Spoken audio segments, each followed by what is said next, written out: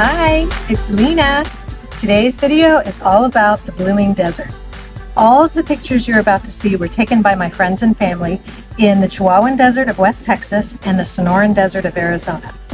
And one of my friends specializes in exotic cacti, so you get to see some of his collection. I hope you enjoy the video, guys.